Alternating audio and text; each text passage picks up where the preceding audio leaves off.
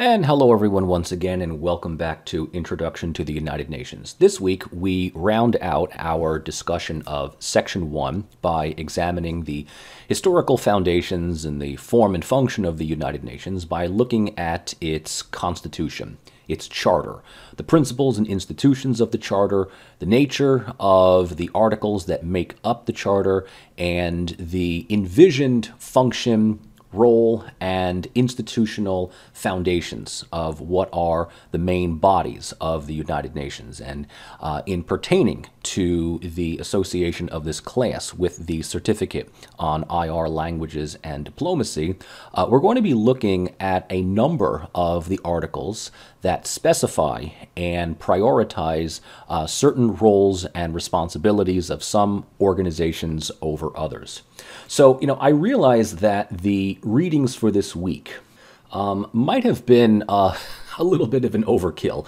Um, I know that um, at least as far as Doyle and uh, Schlesinger, um, it is um, a bit more academically jargonistic uh, than many students would like. And uh, the more legally written article by Carolyn Wilson um, is, you know, it presents material in a different way um, than normal political science, um, social science texts would.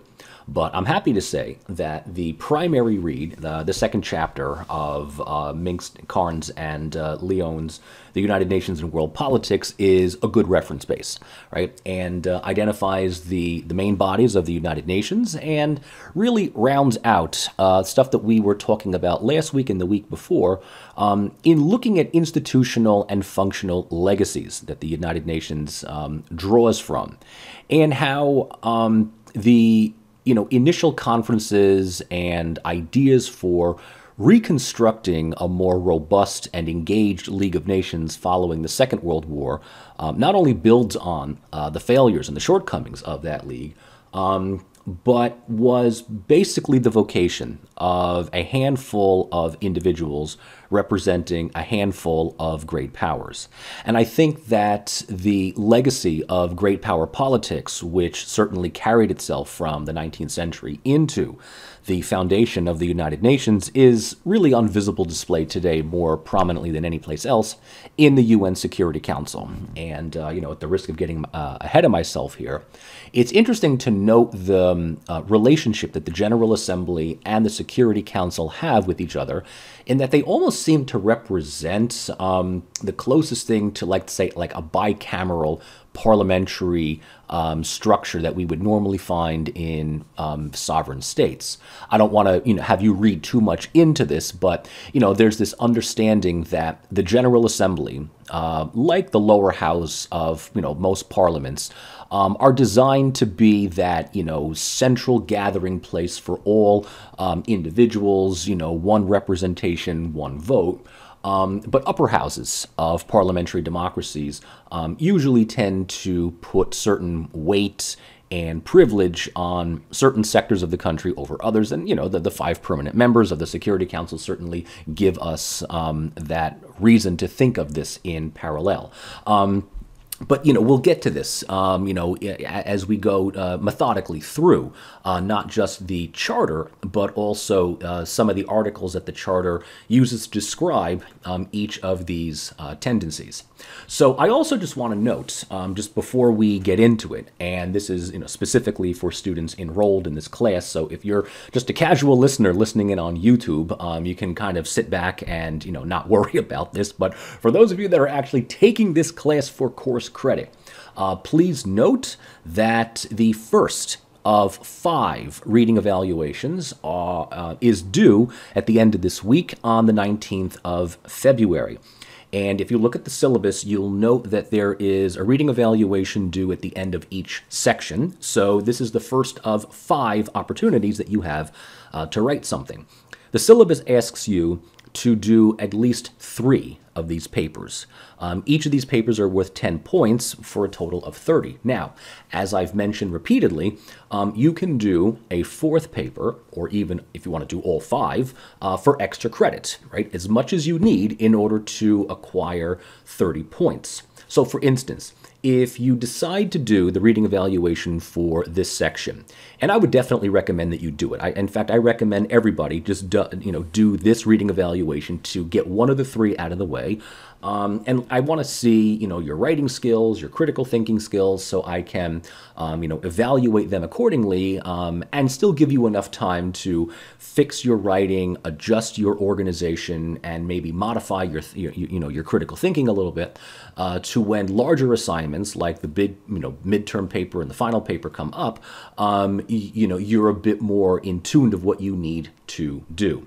Um, so, as the syllabus says, it is, you know, I'm asking you to provide me a five to seven page pay, uh, paper uh, responding to a series of assigned questions that I have already put up on Blackboard. I think there's three. You are to pick only one, and there's always one student in the crowd that thinks that they need to answer all three. No, you don't. Just pick one of those three. But whichever one that you choose, you need to show that you are engaging the readings as well as the lecture material. So this is um, effectively an open source paper, but I only want you to use in class materials. So no Wikipedia, no outside readings, you know, nothing else. I want you to answer the question based on the readings that are assigned for this class, as well as material that you glean from these video lectures. And you need to show your own critical thinking and analytics. So don't just simply summarize, right? Don't just simply recycle or regurgitate what someone wrote more eloquently than you a few years earlier. I want to see your opinions, I want to see your insight. And look, even if you have no idea what you're doing and you completely bomb the paper, um, it's not necessarily a failing grade because you need to accumulate 30 points within this evaluation section by the end of the semester. So even if you get like a five or even a four, well then you're you know you're four or five points in to getting 30. I'll leave you constructive criticism and we can always talk later on in the week on how to improve. But as I mentioned, and it's worth repeating just one more time, I think everybody should do this first paper um, just to get one of the three out of the way and, you know, to kind of get yourself involved a little bit more uh, in with this class beyond uh, just what we are doing in class participation. Okay, so with all of that said, right, let's jump in to the material and let's finish off uh, this first section.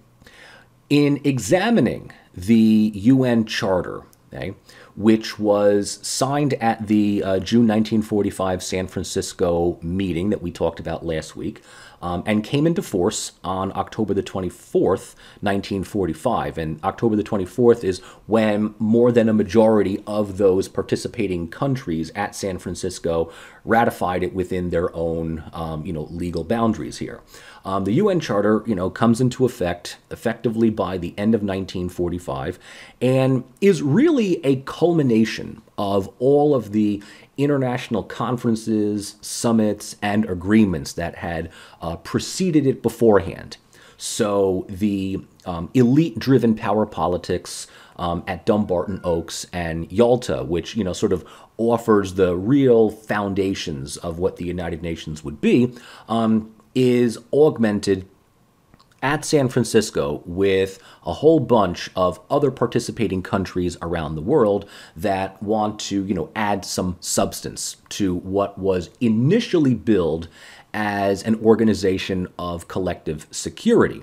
And when the developing world, right, uh, specifically Latin America and the Middle East, finally had their chance to weigh in their own thoughts, it was here that the idea of the United Nations, and more specifically the idea of collective security, would be expanded beyond the traditional notions of collective military security, right? So this would not be um, a globalized version of a concert of Europe, right? This would be really um, an attempt at building on some of the idealistic, if somewhat naive, principles of the League of Nations a couple of decades earlier, but realizing, right, but realizing that um, harmonizing state interests within a larger framework of liberalist ideology um, is much more of a guarantor of collective security uh, than more realist understandings of power politics.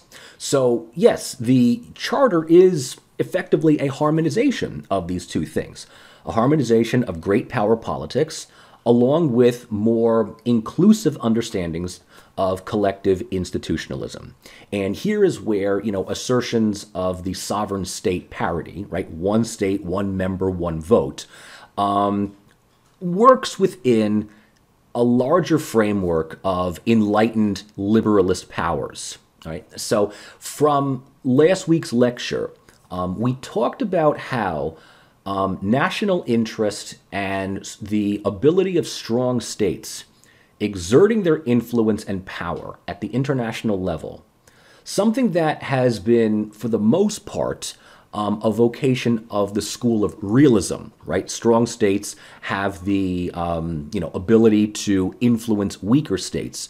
This is something that we actually have learned to realize can be employed through lenses of liberalism um, as displayed by the ideas of founding the League of Nations a couple of uh, decades earlier. So, you know, in other words, in, in the most simplistic ways possible, strong states that operate along principles of liberalism human progress, human cooperation, um, collective security through economic interdependency, democratic peace theory, and the adherence to the understanding that there are some universal principles of human rights and human well being, if this is projected by strong states and um, defended and upheld by strong states, well, then, in a way, this will eventually become kind of like the perceived and accepted um, international outlook. So, you know, one could say, yeah, I mean, realist power politics can actually be used for good if ideology, you know, steps in.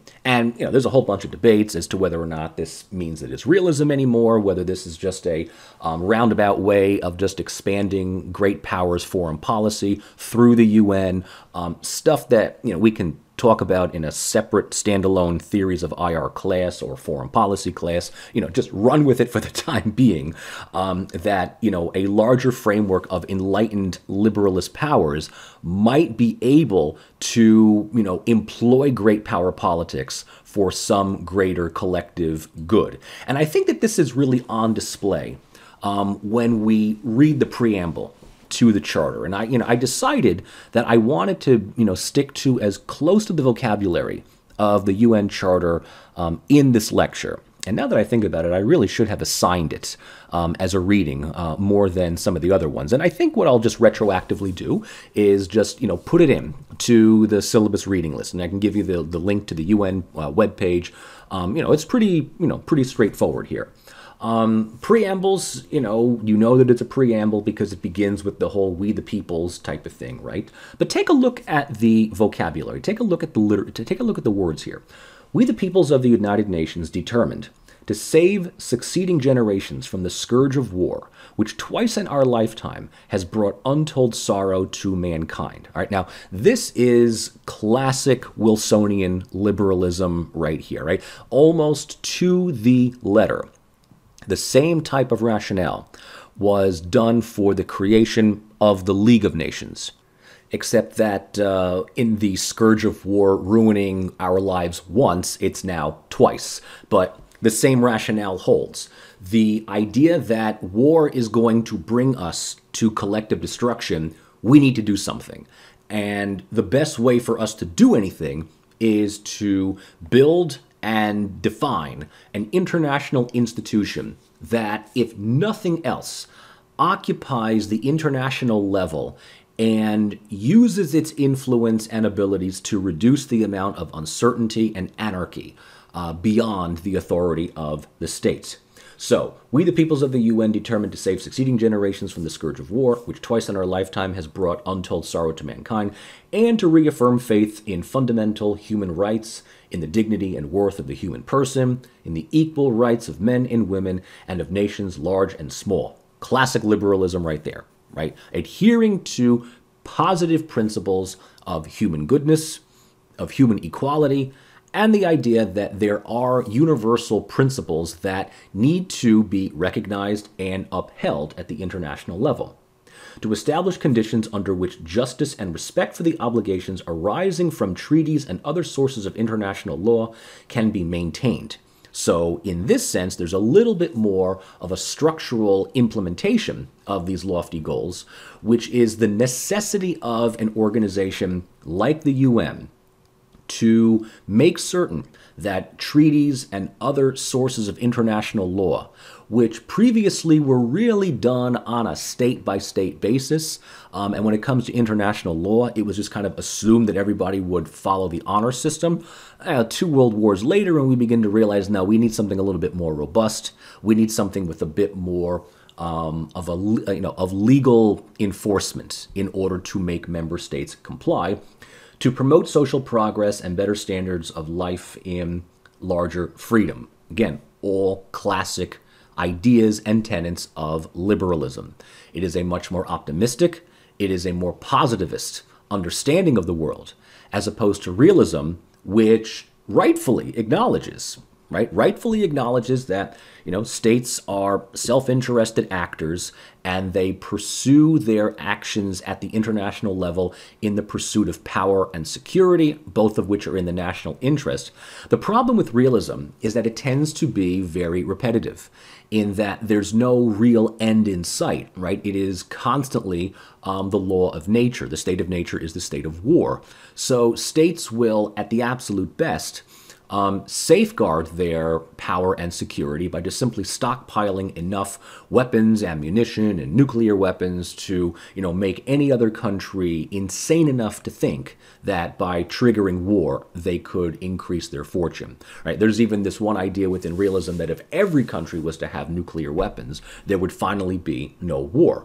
Um, there's just a lot of countries in the world I just don't want to have nuclear weapons. So in this sense, liberalism says, you know, rather rather than arming everybody to the teeth and just thinking that peace comes through stalemate, can, let's let's like advance some principles and some ideals where we don't need to arm everyone to the teeth, but we can just make people trade. We can make people understand that, you know, people in one part of the world have the same problems and challenges and fears and anxieties as the other right? So for these ends, to practice tolerance and live together in peace with one another as good neighbors, to unite our strength and maintain international peace and security, and to ensure by the acceptance of principles and the institution of methods that armed force shall not be used, save in the common interest, and to employ international machinery for the promotion of the economic and social advancements of all these people. Before we get to the final ta-da moment, right? The purposes here are to reduce the necessity for military action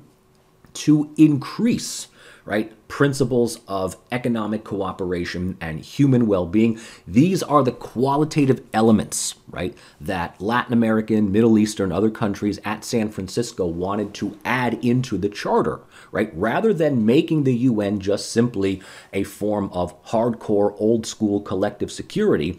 The understanding was security can be realized through interdependency, through cooperation. With all of that in mind, we have resolved to combine our efforts to accomplish these aims. Accordingly, our respective governments, through representatives assembled in the city of San Francisco, who have exhibited their full powers found to be in good and due form, have agreed to the present charter of the United Nations and do hereby establish an international organization to be known as the United Nations. So, the purpose of the UN, right? Short version is to do what the League of Nations couldn't do, but and therefore make it better. Um, longer version is that in an increasingly globalizing world that is going to be beset by an even more destructive war if the first if this if the first and second are not mitigated we need an organization like the UN that is truly global in scope to provide a forum of information uh, a platform of mediation and an opportunity for states and societies around the world to share their interests and their grievances and be able to find common ground for the purpose of collective benefit of everyone moving forward into the next, you know, few years, months, and even centuries. Right? So, with that understanding, right, it is very clear that the purpose and the principle of the United Nations is to number one, Article 1.1, maintain international peace and security, and to that end, take effective collective measures for the prevention and removal of threats to the peace and for the and for the suppression of acts of aggression and other breaches of the peace and to bring about by peaceful means and in conformity with the principles of justice and international law adjustment or settlement of international disputes or situations which might lead to a breach of the peace. So, right off the bat, we are talking about hardcore collective security, right? Peace and security, and any, by any means possible, censuring states that violate peace and security, and to, in order to do this, to develop friendly relations among nations based on respect for the principles of equal rights and self determination of peoples, and to take other appropriate measures to strengthen universal peace. Point three, to achieve international cooperation in solving international problems of an economic, social, cultural, or humanitarian character, and in promoting and encouraging respect for human rights and for fundamental freedoms for all without distinction as to race, sex, language, or religion. And finally, point four, to be a center for harmonizing the actions of nations in the attainment of these common ends.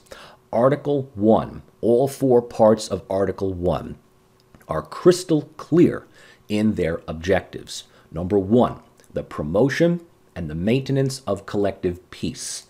But number two, and this is where liberalism steps in collective peace, not through coercive great power hegemony, but through, for the first time, a far more democratic egalitarian, and collectively inclusive set of interdependent cooperatives that make states go from individual self help entities to realizing that collective survival necessitates cooperation, and to the point that increased economic, social, cultural, or humanitarian interaction reduces uncertainty between one state and the next, increases dependency on two or more states, and over time creates a narrative in which the public finds far more things in common with their counterparts in another country than differences. So, Article 1 lays the philosophical foundations of the United Nations clearly within principles of 19th century liberalism. Article 2 takes this one step further by noting that all UN members shall enjoy the same degrees of sovereign equality, no matter how powerful or how weak. So every member of the UN is an internationally recognized sovereign entity. And this goes a very, very long way in, in really doing two things. One, it provides a sense of international equality for all member states, right? Ranging from the United States to Haiti, right? All have equal representation, all have the same number of delegates at the General Assembly, one voice, one vote.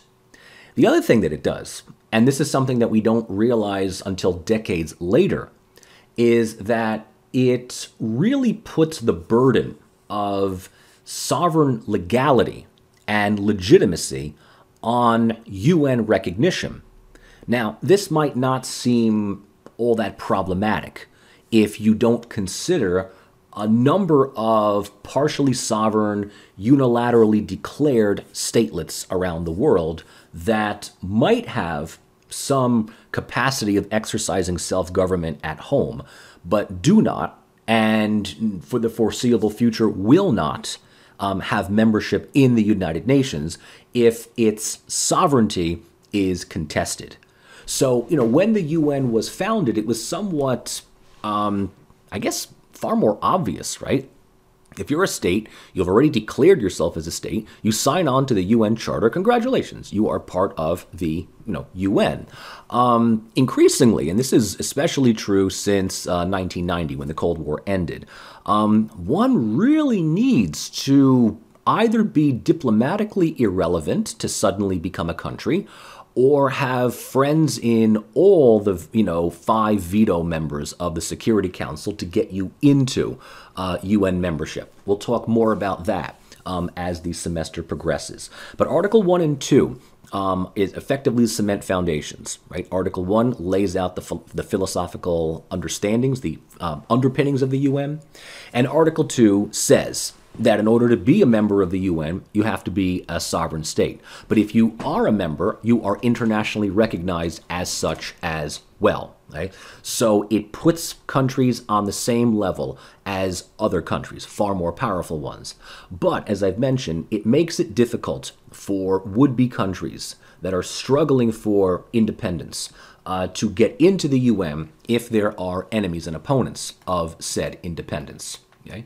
All right, moving on here, and there are a number of articles within the Charter. Um, Articles 7 and 8 simply lay out the organization, things that we've already talked about last week. Article 7 um, establishes um, the function of the General Assembly the Security Council, the Economic and Social Council, the International Court of Justice, and the Secretariat. And it really is here that I want to spend some time talking about each one. Now, you might think to yourself, why am I starting with Trusteeship Council? Why don't I go with General Assembly and just kind of go from there? Um, I like to start with the Trusteeship Council really for just one reason. Um, it's short. It doesn't really have anything to do with the UN anymore. It is, at this point, more for historical purposes. Um, so I'd rather just get it over with now than, you know, go through all the big stuff and then kind of say, oh, by the way, trusteeship. So for the purposes of just knowing that it exists, and the idea that there are um, almost 20 articles uh, that uh, identify and define this trusteeship council. It is, as we talked about last week, a coordinating body, or at least a former coordinating body, um, that organized the peaceful transition to independence of former colonial territories. Now, don't get too ahead of yourself here because we are talking really former colonial territories of powers that lost a world war. okay? So it's not a halfway house for soon to be former British colonies or French colonies or others like that, right? Remember the, uh, the big wrangling um, at uh, Yalta that um, the Trusteeship Council, which is a direct um, bring over from the League of Nations, uh, might be seen by many uh, colonial um, interests uh, as a way of transitioning them away from you know some form of imperialism towards independence in order to make certain that you know the British and the French were on board with this right it was pretty clear that this will not touch current colonies right so the function of the trusteeship council which just by its definition kind of made it obsolete from the beginning um, is that it oversaw the administration of non self governing territories inherited from the League of Nations. So we are talking about a handful of territories. Uh, most of them were former German colonies in Africa and the South Pacific that were um, seized by the League um, at the end of the First World War and placed under some kind of mandate control because they were deemed unprepared for self determination. Um, the number of territories that go into the Trusteeship Council increased at the end of the Second World War when Japanese colonies and territories were seized. But as we talked about last week, Article 78 is very clear in stating the trusteeship system shall not apply to territories which have become members of the United Nations, relationship among which shall be based on respect for the principle of sovereign equality. This was that incident in which the Syrian and Lebanese delegates came to San Francisco on their own accord, signed the charter, and effectively by that process became founding UN members. As soon as trusteeship council is talked about, and as soon as the idea of colonies are mentioned here, these two now new countries, as far as the UN was concerned, get worried because they're thinking, well, are we going to go under the trusteeship council? We signed the UN charter. We are we not equal countries. So Article 78 was put in there to ensure not just these two. And again, they were doing this because at the time France was occupied by Germany, so you know they're able to kind of break away, right? This will not apply to territories which have become members of the UN. So this is a very clear way in delineating that the number of entities that are part of the Trusteeship Council is small and is going to remain small. Now, I talk about this mostly in the past tense, right? Because the Trusteeship Council no longer operates. It still has a chamber within the New York UN. It looks really nice. If you go on a UN tour, you can go in there, and nine times out of ten, right, the room is empty. It might be, you know, uh, used for other purposes at this point. But the Trusteeship Council is not to be confused with a transitory body for future former colonies. This was something that might have been discussed in early meetings that colonies that you know major powers can no longer hold on to you know do they kind of go into this um, halfway house right do they go from colonies to um, sovereign states through the trusteeship council and what it, the history here is kind of vague because the, you know the British and the French were very adamant about making certain that this wasn't, but at the same time the colonies didn't really want to go into trusteeship council because the territories that are in it, like German Southwest and Southeast Africa, they they're not given independence. They're actually just simply they're they're technically international territory, but the day-to-day management of them is administered by British South Africa. So you basically just go from one person's colony to someone else's. And so the, you know, soon to be former colonies like India and Nigeria and others, you know, were also like, no, no, no, we don't want to go into trustee because we don't know how long this is going to last. So, what's interesting about this is most of these colonies go directly from colonies to independence, bypassing the Trusteeship Council. And like Lebanon and Syria, are given full membership, you know, almost immediately. So the Trusteeship Council was founded in 45 and it was already um, kind of an historic, soon to be obsolete body. Um, full operations were suspended on the 1st of November 1994 uh, with the independence of Palau. So, as I've mentioned, it no longer functions in its original capacity today. And so people are wondering what do we do? Do we eliminate it from the charter? Do we take it out of the thing? Um, you know, two things are keeping it from being removed. One is um, just you know bureaucratic obstacles, and two is I don't know tradition. Right? They don't want to take it out. They feel like it's one of the few things that they could say, "Hey, this thing worked and it's done." Isn't that nice? Some people are saying that it could serve as an organization for coordinating a number of these disputed parastates, right? These partially sovereign uh, entities that are unlikely to uh, return to host state control. So, you know, Taiwan, Kosovo, Nagorno Karabakh, uh, Abkhazia, uh, Northern Cyprus, Western Sahara, you know, whatever. Um, the thing is, is that if these territories are disputed, right, and they are, then it stands to reason that there is at least one powerful country in the world that's working to prevent it from gaining any more sovereignty. So the idea of a trusteeship is that a you know an international territory has membership in this council, but the caretaking authority also has membership. So where does that caretaking authority go? And if it goes into a trusteeship council, does it mean that independence is all but formally guaranteed, right? So if you know China wants to ensure that Taiwan does not become a country, or Serbia wants to make certain that Kosovo does not become you know universally recognized, my guess is that they are going to put up obstacles and barriers or and use their either their own veto or an allied veto in the Security Council to keep that from happening. So we've talked about, you know, what the Trusteeship Council should do for years. And, you know, as years go by, you know, the room just, you know, stays there um, for, you know, display purposes largely.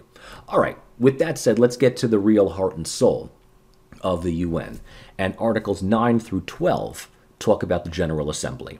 Right? General Assembly is this is the face of the UN, the most um, visible and accessible. When people think of the UN, they think of the big grand auditorium, the big grand meeting hall, right, with the you know, huge ceilings and the you know the, the delegate panels that go in these semicircles. It's the you know the closest thing that we have to like a real world governing body.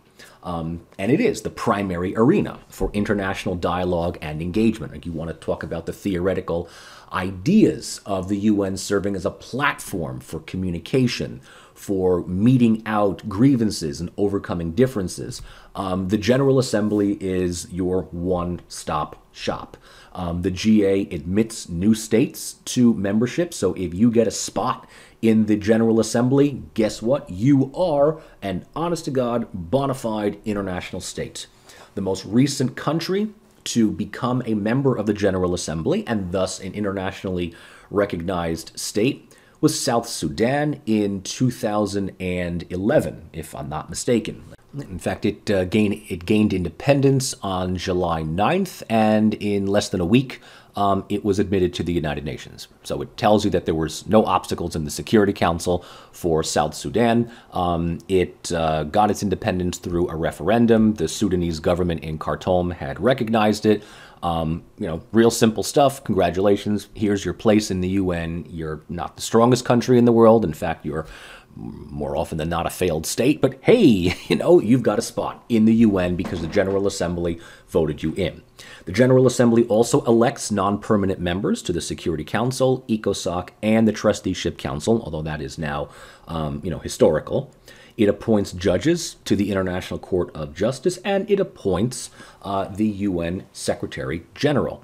So the General Assembly is really the primary hub of the UN and its members are you know are comprised of professional diplomats and you know um, and delegates but they all represent their home government.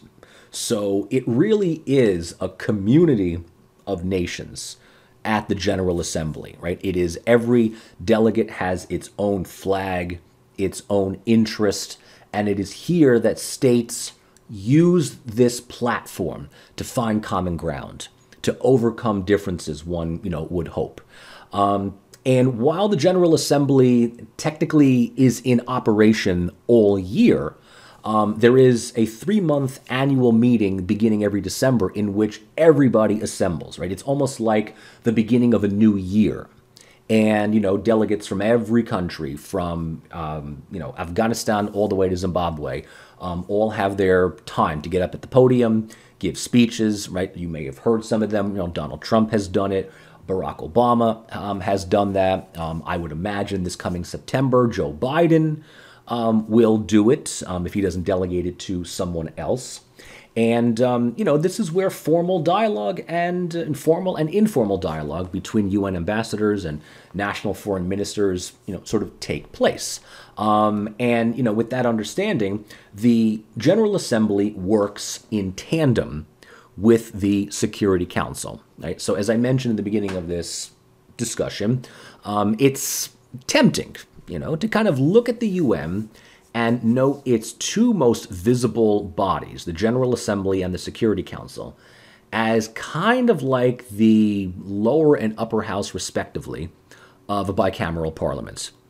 We got 193 members in the GA, and you have only 15 in the security. Um, and Articles 11 and 12, I think, clearly um, design this relationship uh, between the two. So, Article 11 notes that the General Assembly may, quote, consider the general principles of cooperation in the maintenance of international peace and security, including the principles of governing disarmament and the regulation of armaments, and may make recommend- recommendations with regard to such principles to the members of the Security Council or to both. So the General Assembly works in close cooperation with the Security Council, alerts it to certain you know elements that are specific to security. And at the same time the security council is exercising in respect of any of the dispute or situation the functions assigned to it in the present charter the general assembly shall not make any recommendation with regard to that dispute or situation unless the security council so requests.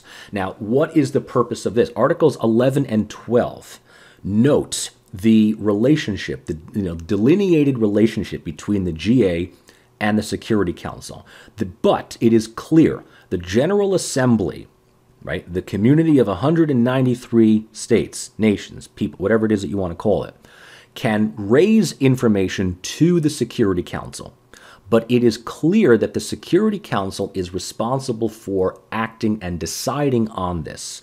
And Article 12 effectively says the General Assembly cannot think and decide independently of what the Security Council is now considering unless the Security Council allows it to do so. So, in so many words, once information is kicked upstairs, it is now part of upstairs to figure out, very much so um, in terms of lower houses and upper houses. So there is that relationship, right? But the General Assembly is subordinate to a body that still represents great power politics. Right, that still represents a smaller group of individuals, a smaller group of states with more specifically um, delineated powers and responsibilities.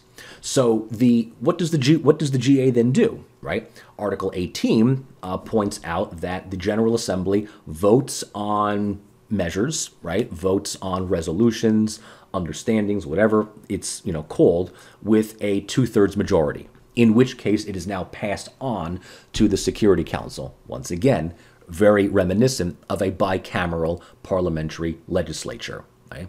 Um, so, if something passes the GA, it can still be killed in the Security Council. So I go back to the issue of um, disputed territories, right? Like Palestine and Kosovo. And, you know, it's kind of implied that if, let's say, if Palestine has 135, let's say roughly 135 international recognitions, then it stands to reason that a vote to include Palestine as a new member of the UN, as the, as the 194th country, is going to pass in the General Assembly. Right? If, let's say, 135 vote yes against the remaining members of 193, and remember, one country, one vote, it's going to go to the Security Council. But we all know that it's going to die in vote in the Security Council because now the United States, right, which has one vote among 192 others, is going to use its veto power to kill the whole thing. Likewise, the same thing for Kosovo. For a, couple of years ago, when Kosovo was racking up recognitions, um, some people were saying, well, if it passes the um, you know, the half point threshold, it can get membership, which was wrong. You need two thirds. Uh, but even if it does get two thirds, which it never reached, um, Russia and China are just going to kill it in the Security Council. So the point to be made here is that, you know, as long as the Security Council doesn't have a problem with it, yes, if it passes the GA with a two thirds majority, the Security Council is going to vote on it and pass it, right? So it's like a two part resolution here. And if we continue with this allegory of the General Assembly being the equivalent of a legislative body, it's not that far fetched to think that countries vote along coalitions. Countries vote in blocs um, according to their geography, their common economic interest, um, they will vote according to um, you know political realities. So during the Cold War, we saw very clearly voting blocs between the first, second, and third world. I'm sure that many of you have heard of first world countries and third world countries, um, and I you know always feel the need to explain this. You know, people always wonder, well, what's a second world country? Um, this is an obsolete term that no one uses anymore. The second world um, effectively was the Soviet Union and its allies during the Cold War. So much of Eastern Europe, um, the Soviet Union itself, uh, Cuba, um, you know, a couple of countries here or there, periodically in Africa or Asia. China, I think, was kind of half in, half out. You know, third world countries aren't necessarily poor, undeveloped, backward, you know, nothings. But third world countries, again, in the Cold War, um, designated what we call the non aligned movement. Right? The non aligned movement, countries that were neither diplomatically or um, officially ideologically um, aligned with either the first world, the US and its allies, or the second, the Soviet Union and its. So, third world was just kind of everyone else Yugoslavia, um, Egypt, Indonesia, um, Nigeria, Ghana, um, much of South America, um, Southeast Asia. India was certainly a part of that um, as well. So voting blocs certainly are present historically. Uh, today, we kind of see this north south divide, you know, the industrialized north versus the global south. Um, again, it's um, kind of you know industrial versus agriculture, developed versus um, developing or undeveloped. And while voting blocs may be necessary to either advance ideas or to prevent unpopular ideas, um, more often than not, a lot of these voting blocs tend to be um, just more diplomatically rigid uh, than anything else. So sometimes countries will vote in these voting blocs uh, that might even go against their interests, but they do so um, just to be part of these, you know, coalitions. And you know, in a way, they are taking their marching orders from other regional or multilateral organizations like the African Union, the OAS, the European Union, uh, the Organization of Southeast Asian States, you know, what have you. Right? They're told this is what we um, uh, believe this is what we want at the regional level. This is how you're going to vote in the General Assembly, right? Now, for most of your lives, right, and, I'm, and when I say yours, I'm talking about you students, um, the General Assembly seems increasingly rhetorical, right? It just seems like it's put there to kind of give the impression that there is uh, global equality and egalitarianism.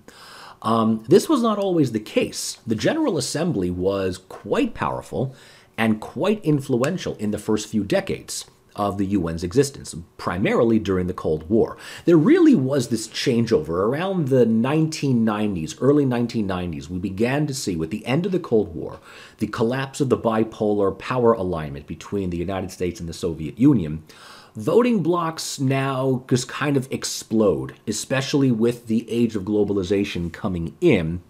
Um, and power and influence has certainly shifted away from the General Assembly to the Security Council. Um, and this may, you know, be because of new challenges and new threats to global security that, you know, cause the Security Council to meet more than they used to. But it also belies the idea, right, that um, the biggest decision making in the world today is not done by a 193 member body, but by a 15 member body. And one third of those 15 members um, represent the Allied victories of a war that ended almost 80 years ago and has veto power that could effectively kill any resolution, even if everyone else votes on it and this one country votes no. So it's appropriate then to segue from the General uh, Assembly to its counterpart, the Security Council, which, interestingly enough, in the original UN Charter, only comprises nine articles, right? For something that is increasingly more powerful and more influential by the year, right? The original charter um, is pretty straightforward in what the Security Council does. So if the GA functions as the U as the UN's legislative body. Um, the Security Council is, if not the upper house of Parliament, it's almost the executive body because nothing passes in the UN today um, without the Security Council being on board. Right? I mean, that's just kind of what the realities are. Um, and even though the Security Council, according to Article 24, is meant to deal primarily with threats to international peace and security, this is a highly interpretive phase. Right? So maybe initially, right, the Security Council idea was to consider old school understandings of um, institutionalism, right? Concert of Europe, um, uh, Congress of Berlin, you know, like the big powers pool their military resources uh, together. But if peace and security can be expanded to include economic and social well being, well, then, even though the Security Council is still mandated to think in terms of state security, threats to regional stability, economic problems, humanitarian problems can be interpreted, right, to justify intervention, to justify censoring a country, uh, can be used to justify putting sanctions on a country. Okay, so the idea of international peace and security, right, can it, it's interpretive, but as long as you f- uh, frame it within this understanding, it falls under this jurisdiction of the Security Council. Now, one of the you know basic things here is that there are five uh, permanent and ten non-permanent members. Uh, the non-permanent members enjoy a uh, two-term uh, rotation. Um, Article 23 enumerates this. Um, and the membership was amended in 1965. Uh, there used to be six non permanent members. Now it's been upgraded to 10. In order for a resolution at the Security Council to pass, Article 27 states that four non permanent members must vote in favor for a resolution to pass. So even if all five of the permanent members vote yes on something, the resolution can still not pass. It can still fail. It doesn't mean that it's vetoed, right? So if the other 10 non permanent vote no and the big five vote yes, it can still fail. Now, it's unlikely, but it's, you know, statistically uh, probable. Now, it makes it even less probable when we realize that the non permanent members must come from a variety of areas around the world. So you know you can't just like uh, nominate ten non-permanent members from Europe one time and you know Latin America the next. Um, five seats need to go to countries in Africa or Asia. Um, one needs to be from Eastern Europe two from Latin America, two from Western Europe, and this designated other, which you know usually involves countries that you know, are not necessarily Asia, not necessarily you know like Israel or something like that, right? So you got to meet a quota. And that, of course, means that if they're all coming from different areas and they all have different socioeconomic and socio-political interests and agendas, um, it's you know unlikely. You know, it, it's unlikely that there's going to be um, unity in opposing something in that sense. But the other thing is that, you know, we can talk about what the non permanent members can and can't do, but it's almost impossible for them to really have any functioning power when the top five have that veto power, right? And they are permanent members. So, in this sense, right, we all know that even if, let's say, all 10 are in favor of some resolution, and as long as one of the five is threatening to use their veto, then as a non permanent member, I mean, I guess you can enjoy bragging rights that you're there, that you can enjoy um, that you're part of a, you know, a more exclusive club of countries.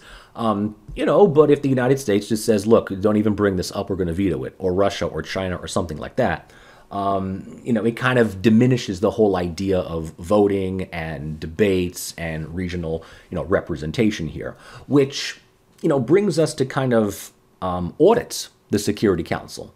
I don't want to say that it is nothing more than a prisoner of self-interested politics of the five big members.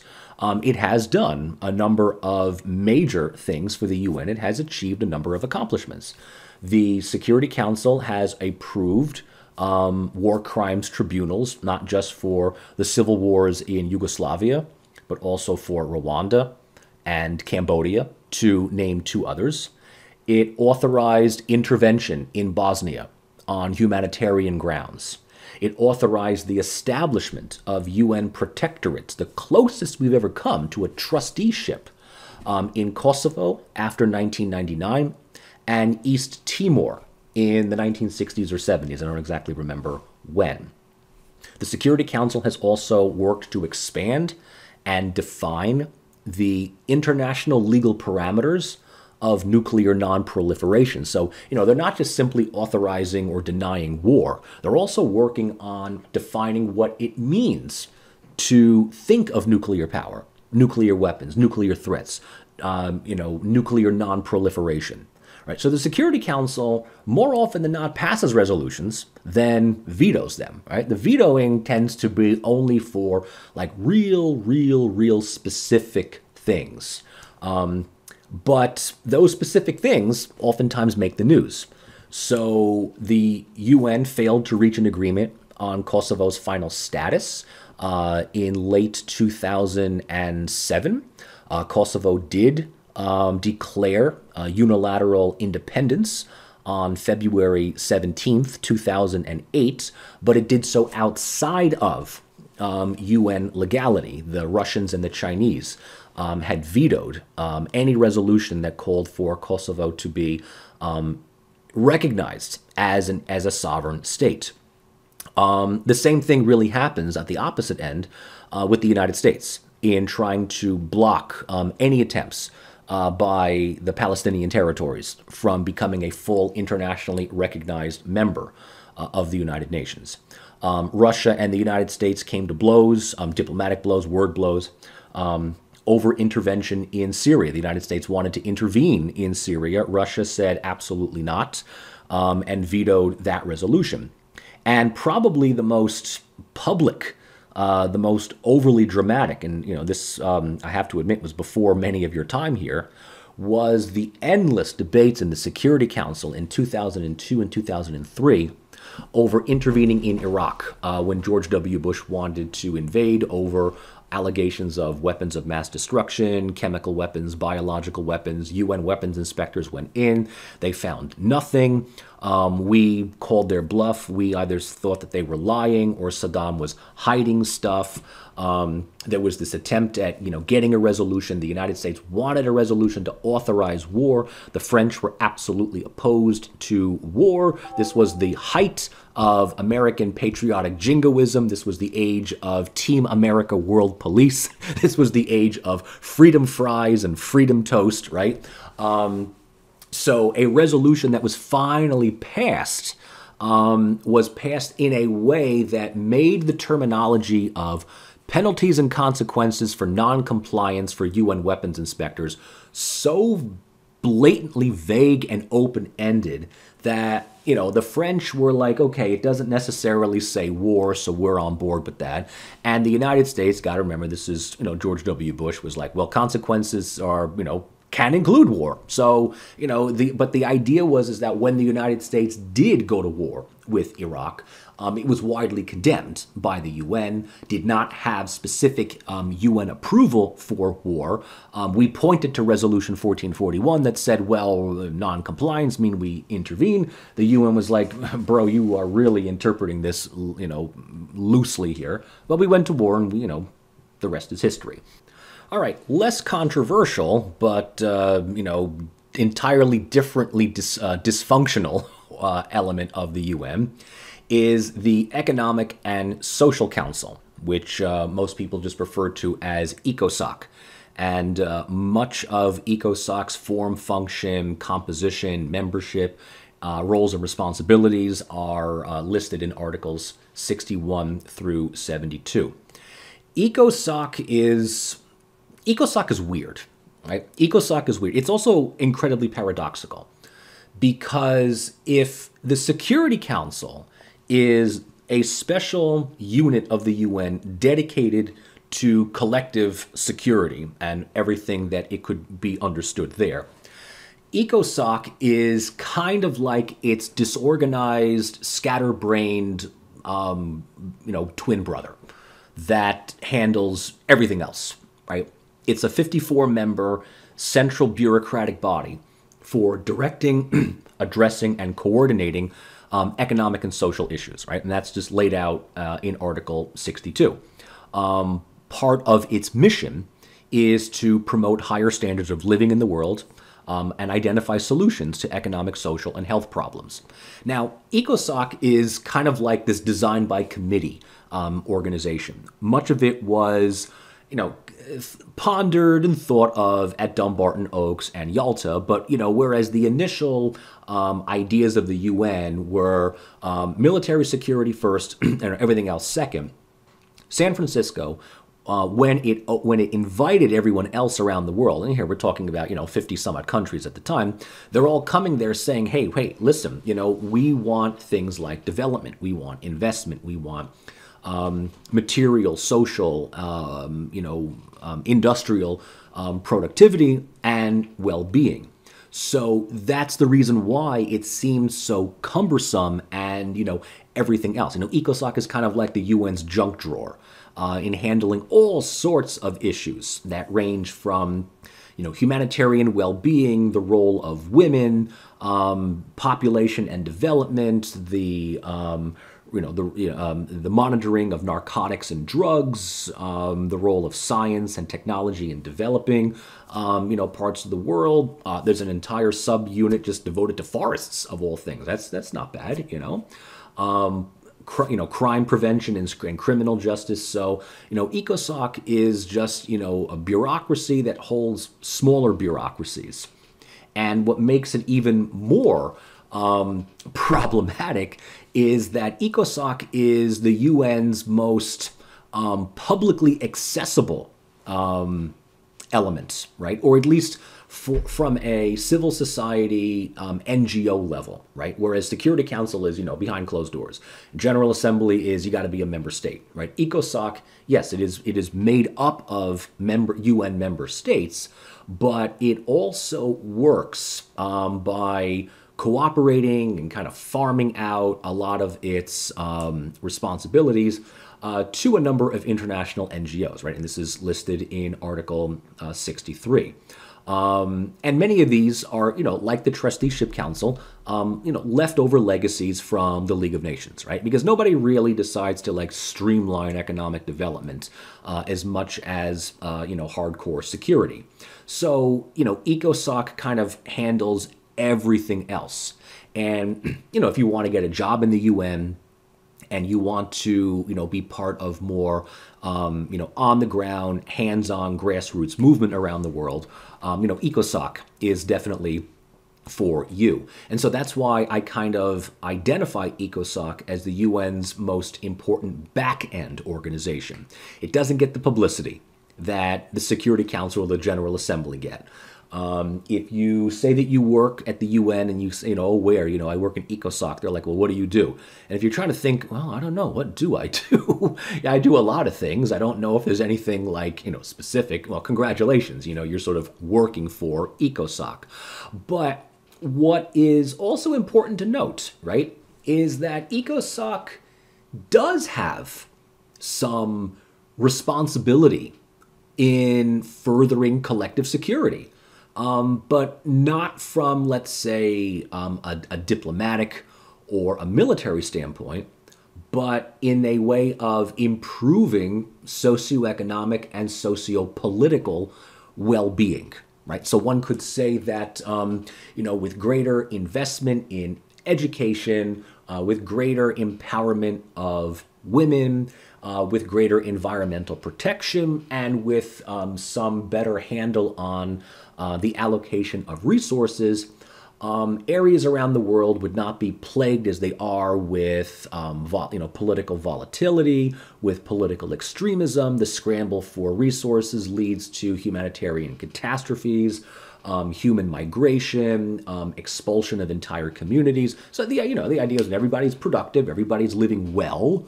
Um, you know, there's no need for regional security threats. And you know, this is, I think, even becoming more and more apparent today when we look at large parts of Africa, uh, the Middle East, um, India, and the subcontinent, Southeast Asia, and we begin to, you know, realize that resources, some as universal as water, is becoming, in many cases, a luxury for some people over others, right?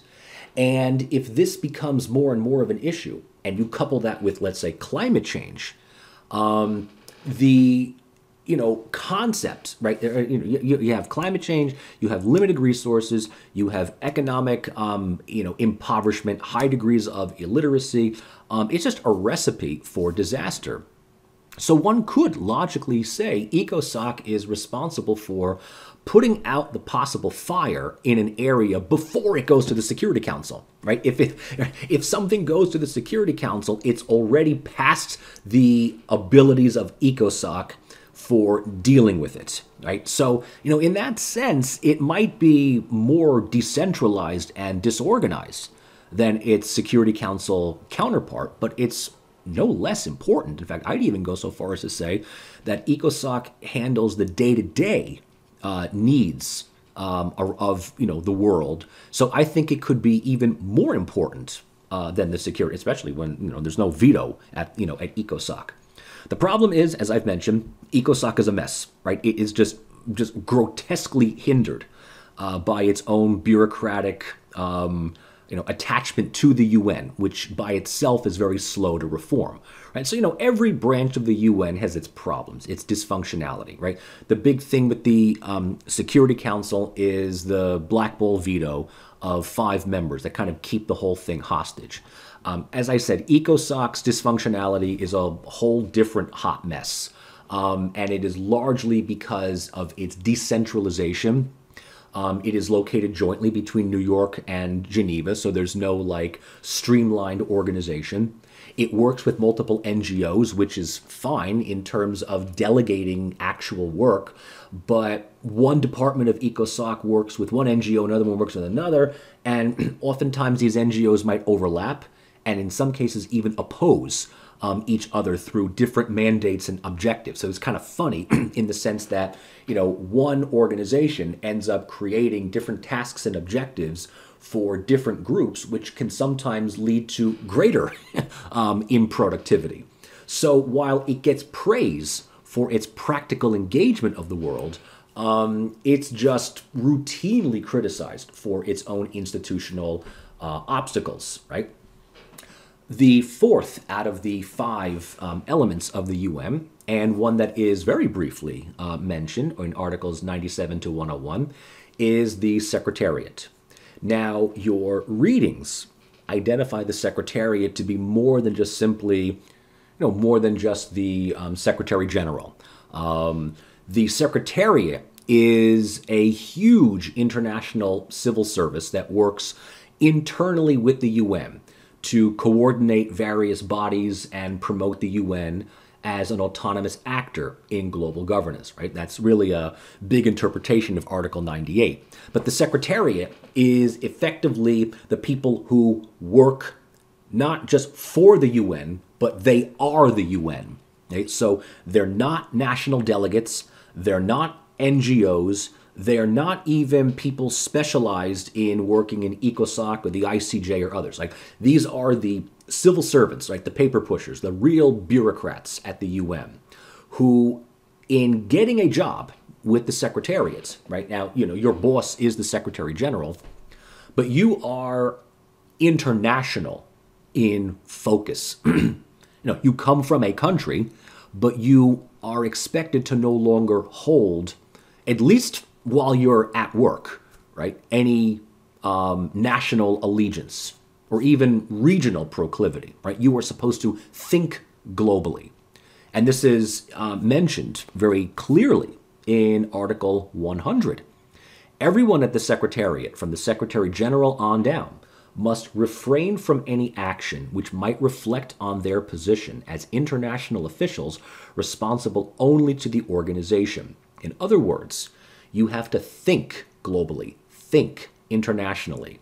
And while this might seem cool for someone who is working within the middle structures of the Secretariat, right? You think to yourself, well, I'm not encumbered by national loyalties or obligations. I'm not encumbered by that first UN that Roland Rich wrote about a couple of weeks ago. And I can kind of do what I want and think beyond borders and regions and think globally.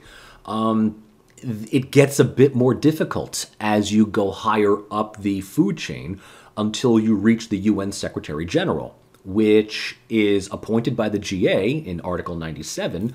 Um, but for someone who effectively speaks on behalf of the UN and represents the largest international governing or gov- uh, governance bodies in the world today, um, they don't really have a lot of power. They don't really have a lot of implementation. And while they're supposed to think globally, right, they can oftentimes be persuaded uh, to you know be partial towards uh, some groups you know over others. And as your reading kind of mentions, is that if you know one of them runs afoul of you know one of the five members of the Security Council, like Boutros Boutros Ghali did with the United States, um, you know the U.S. or you know any power like that can work to get them removed and replace them with someone more compliant, or in America's terms, you know, useless.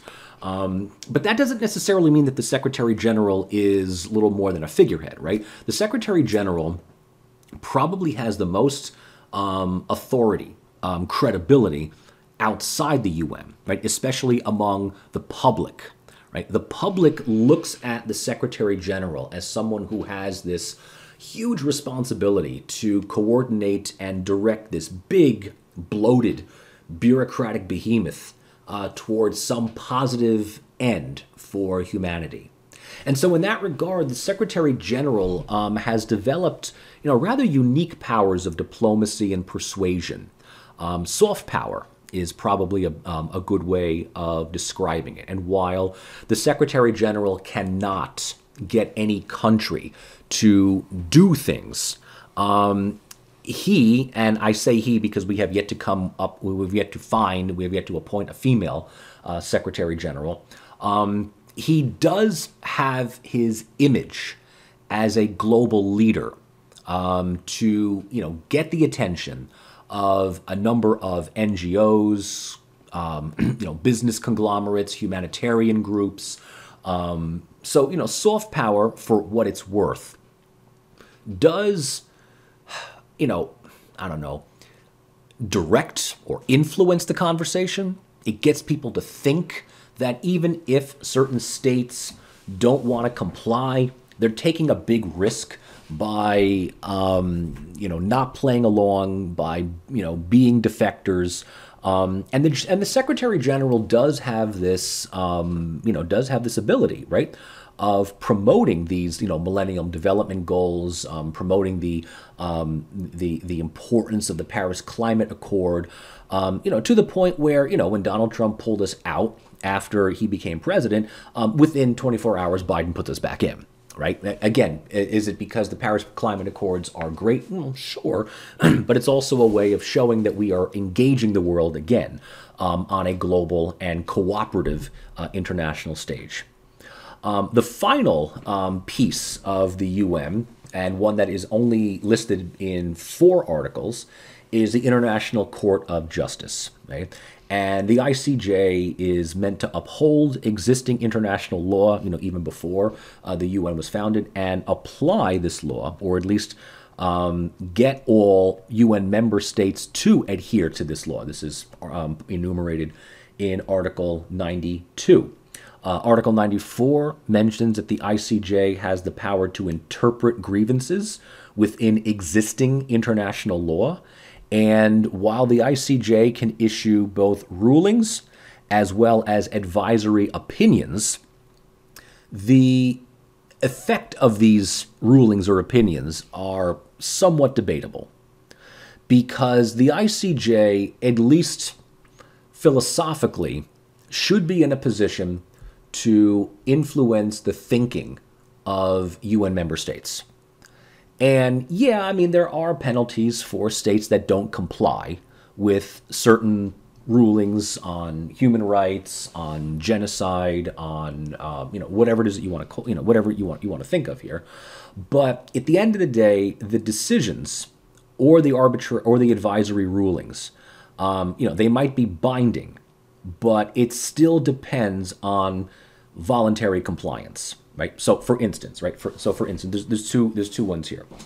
Um, Nicaragua took the U.S. to the International Court of Justice in 1984 um, over a series of grievances that the United States was violating its, you know, Nicaragua's maritime borders, um, interfering in the internal politics of its country, and the ICJ ruled in favor of Nicaragua right? The United States effectively was forced to comply with whatever decision was made. And what does the US do? Simple. It ignores the ruling and pulls out of the ICJ in 1985, right? So, you know, if you're a powerful country, you can kind of do whatever you want. Now, if it was the other way around, if the United States took Nicaragua to court in 84 and the ICJ ruled in favor of the US against Nicaragua, well, you can, you know, bet your bottom dollar that the U.S. would take that ruling and use it to diplomatically force Nicaragua to, you know, accept the decisions. But in the other sense, right, the U.S. is like, I'm not, you know, doing this. And you know, funny enough, the United States, which you know, we talk and talk and talk and talk about upholding human, you know, human rights, and we talk about justifying intervention in a whole bunch of countries for humanitarian purposes. It is amazing how much we bristle in our own relationship to the ICJ. And whenever the, you know, whenever another country or whenever some international organization brings up the idea that you know the United States has committed uh, a number of crimes, both in the you know distant past and in the recent past, with you know whether it's Iraq or Syria or um, you know Vietnam or you know whatever it happens to be, right? The United States will immediately say, "Well, we're not sending any of our soldiers or people to the ICJ. We don't, we, you know, we don't have war criminals. You know, it's uh, you know, Cambodia has war criminals. Uh, the Balkans have war criminals. You know, like we don't." So, you know, the ICJ is there, but unfortunately, you know, there's, uh, there's a good number of states that just don't take it seriously. Um, a more recent ruling, and it's less controversial, but it kind of tells you ultimately that the ICJ's um, decisions are up for interpretation. Um, back to the thing on Kosovo, when uh, it declared unilat- when it unilaterally declared independence in 2008, right? Serbia, the host country, like openly opposed this, and while Kosovo did get a number of big name recognitions on the international front within the first year, um, Serbia was successful in getting enough votes to take this issue of Kosovo to the International Court of Justice for an advisory ruling, not a um, you know legal ruling, but an advisory ruling, which already was kind of like you know the teeth were kind of already pulled out. And the question was was Kosovo's unilateral declaration of independence legal or not? Right? And it was it was in hope that the ICJ according to Serbia, would say it was illegal. It was a violation of another country's sovereignty. It happened outside of UN authority. Um, Serbia was willing to give everything but independence for it, but yet it fell prey to U.S. foreign policy and it declared independence anyway. And if it's and if the ICJ rules that it was okay, then every other Tom, Dick, and secessionist Harry would say, "Me too, me too." And at the end of the day, the ICJ comes up with a very ambiguous um, adv- you know, advisory ruling, and that is Kosovo's unilateral declaration of independence was not illegal. Not legal, but not illegal. And the rationale is there is nothing on the current books of international law prohibiting a territory, a political entity, from declaring independence. That's kind of interesting. But, and you know, by that point, the Albanians in Kosovo were celebrating, the United States was celebrating, and they're like, let's go out for a drink, we won. The, you know, the ICJ is like, hang on, hang on, hang on, we're not done yet. There's nothing inherently illegal about declaring independence, but states are not obligated to recognize that independence. If you want to recognize it, go ahead. If you don't want to recognize it, that's up to you as well.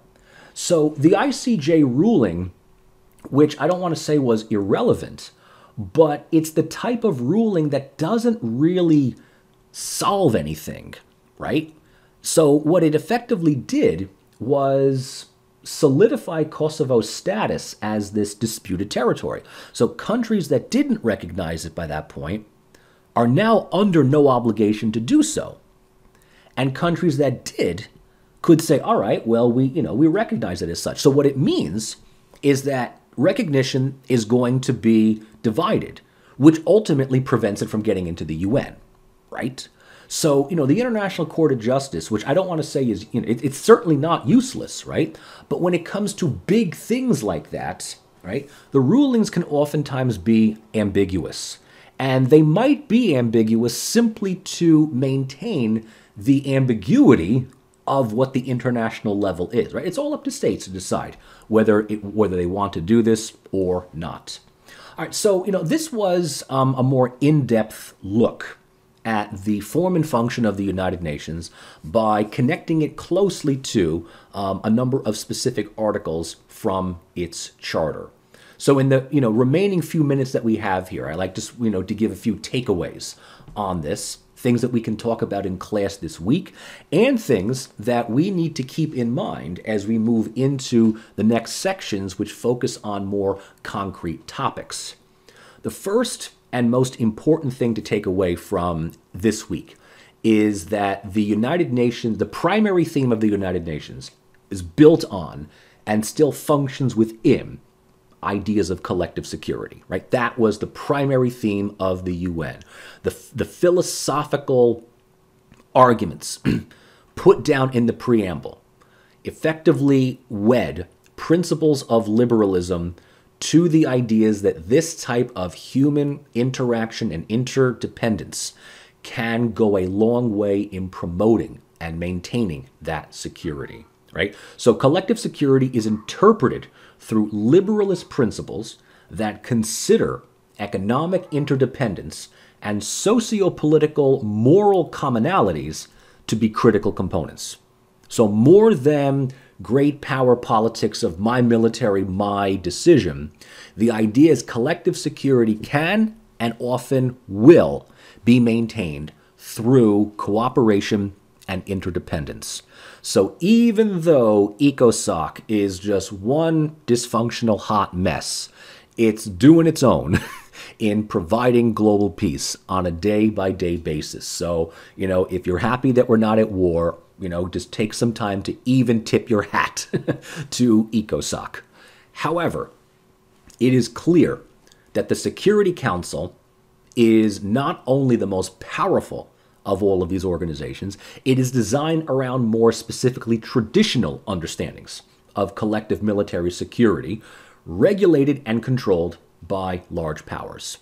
The five big countries that have black ball veto power, right, effectively maintain that idea that at the end of the day, right, when economics and humanitarian development fail, you still need some good old fashioned, you know, mid 19th century concert of Europe to keep all the crazies on the periphery in check, right? So compare, right? Just compare the streamlined process of the Security Council with ECOSOC. And that probably explains why the Security Council gets all of the publicity, right? Because it's far more organized. It focuses on our specific set of topics. And yeah, it's got 15 members, and you don't have to wheel and deal for votes or this or that. What you ultimately have to do is if you want a resolution in the Security Council to pass, you just got to make certain that the one uh, permanent member that is looking at this thing a little warily is not going to veto, right? All you really need to do is that there's going to be one dissenter among one of the five, right? Wine and dine them, you know, change around the wording, you know, do whatever, you know, backroom deals might be necessary uh, to get them to maybe not vote yes, but just simply abstain. You know, abstain doesn't kill the resolution. It just says, hey, I don't approve of it, but, you know, I'm not going to ruin everyone else's day, right? So, you know, compliance is a responsibility of member states, right? Is the big thing with the United Nations, but the burden of implementation rests on collective cooperation. So there is this paradoxical symbiotic relationship here, right? In the sense that the UN can say what needs to be done, um, you know, during you know any period, but compliance in order to get this done is the responsibility of member states, right? So you're part of this thing, you need to comply. You got to follow international law, you got to do what ECOSOC says, you got to do what the ICJ says, you got to pay your dues, you got to do this, you got to do that, blah, blah, blah, right? But in order for the UN to actually work, in order for this thing to actually function, okay, the very countries that are told to comply um, need to collectively cooperate right? So it's kind of a dual responsibility here that ultimately tells us that the UN is, as I've been saying for weeks now, only as good as the member states make it out to be. Um, a final couple of things here is that the charter I visualizes the U, uh, uh the UN as a thoroughly international initiative. So one of the big um, problems, grievances, fears um, that many countries, including the United States, um, had. And remember, you know, congressional Republicans, you got to appease them in order to get this thing off the ground, feared that the UN would be a world government. And along that, feared that the UN would have the power to intervene in the internal affairs of its member states. And that's why, um, you know, Article 2, Part 7 is very clear in noting that nothing in the present charter shall authorize the United Nations to intervene in matters which are essentially within the domestic jurisdiction of any state, or shall require the members to submit such to settlement under the present charter. Now, that was kind of like your little failsafe, right? Your little uh, boilerplate statement that assuaged fears in the beginning that the UN would interfere in the internal affairs of, you know, even the United States, for instance. And, you know, I still remember, um, we're now coming up on almost 20 years since this happened, since 9 11. And um, I first started teaching um, in 2001. I was a, I was a teaching, uh, teaching assistant, a TA. And I started, you know, first day, first week, whatever, of Introduction to Comparative Politics. And I remember this vividly. This is before 9 11, so we're talking about, you know, the week just before 9 11. A student raises his hand and asks me why we are not intervening in Afghanistan, knowing how horrible the Taliban are, knowing that Al Qaeda has bases there. Um, you know, they're you know oppressing their people, they're brutalizing their women, they blew up those uh, statues of Buddha. You know, why can't we do something? And you know, my quick response was, well, you know, the the sad thing is is that in the international in the international world, if a country is screwing things up but keeping it within their own borders, it's kind of a domestic affair, you know. And you could make the argument that we have to intervene for the sake of doing something, but as long as the problem doesn't cross over into another border, it's not an international issue. Um, we all kind of went our separate ways. 9 11 happened. School was canceled for the first, you know, half of that week. We all come back after 9 11, and the same student raises his hand and says, Now are we going to do something? And I'm like, Yeah, yeah, I, I think we're pretty much going to do that now, right? But what's interesting is that this idea of non intervention has itself evolved significantly, again, since 1990. Right? 1990 was, I think, really a pivotal year in which the UN went from being limited in what it could do to now being just overwhelmingly pervasive. Um, since 1990, the UN has approved a number of peacekeeping operations um, that sprang from intrastate conflicts, right? Internal matters, right? So whether it's Bosnia or Somalia or Iraq or the you know or the Kosovo territory within Serbia, um, among other places, right? UN peacekeepers are largely in places that are the result of internal problems. Like there's UN peacekeepers in Cyprus. There's still UN peacekeepers in um, in in the Suez, if you can believe that, right? So what's funny is that the charter kind of says that we're only going to get involved when, you know, it's the classic case of Germany invades Poland, right? Iraq invades Kuwait. But most of the problems that we find today are internal, right? Usually as a result of ethnic cleansing, political extremism, um, you know, human rights violations. And here, the UN kind of uses it to justify. We go right back to the preamble of the UN and say, listen, you know, if we are based on liberalist principles of upholding human rights and improving the world so we don't get into another world war, does that justify intervening in another country? Does that justify um, the General Assembly voting on the need to intervene, kicking that to the Security Council, having that be sponsored by one of the five permanent members and getting it passed, right? Does the UN have the moral obligation to intervene in the name of these collective human rights, in the name of these principles of liberalism, right? and this is the problem with liberalism as an IR theory, in that of all of them, liberalism, realism, constructivism, Marxism, and others, liberalism might be the most optimistic and it might be the most progressive. But the problem with that is that once you decide that you are going to wear your ideology on your sleeve, and you are going to say that we cannot sit back while ethnic cleansing takes place, right? Never again. That obligates you to intervene everywhere. It doesn't matter whether it's Bosnia or Myanmar or Syria or Sudan or um, China, you know, you, you intervene, right? So, do we have the moral obligation to intervene? Do we have the capacity to intervene everywhere? You know, um, these are things that we are going to begin to start talking about in the next section. Okay, but it's important to note, right, that the UN Charter begins and ends pretty much with this idea, with these sets of you know languages of intervention, humanitarian relief in mind. So, what does that do in terms of policy? What does that do in terms of strategy? And, you know, do big countries use the UN as a way of intervening? And then, of course, you know, is intervention meant for the greater good or for just furthering the national interest of the intervening country? These are a lot of things that I, you know, feel that we can put aside for next week.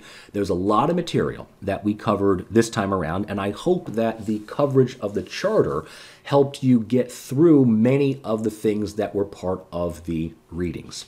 So I'm sorry for uploading this a little bit later than usual this week, but I wanted to get it in. I hope that you have time to, at the absolute least, listen to the video as opposed to do all the readings. Um, but let's try to once again have a real productive conversation like we did last week um, with the material that we just covered. So I look forward to your input and I hope to see you all very, very soon. Take care.